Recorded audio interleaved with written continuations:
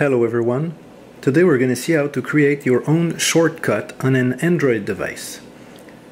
First, you go into your settings. Then, you choose language and keyboards. Once in there, you choose personal dictionary. If you have more than one language, you choose the one you want.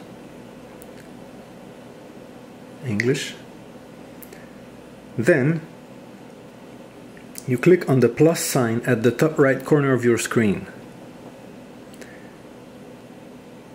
In the new word or phrase bar, type the phrase you want to replace, like meeting. Then, in the other section, you choose the combination you want to use instead of the full phrase, like MTNG, meeting.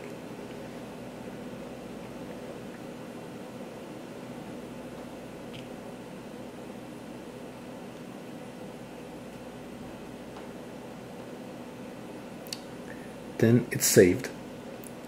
And if you want to try, say we go there,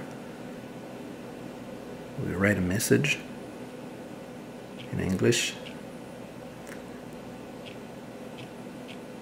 MTNG here meeting. This is how it works. This is how you create your own shortcut for your keyboard. Thank you for watching and see you soon.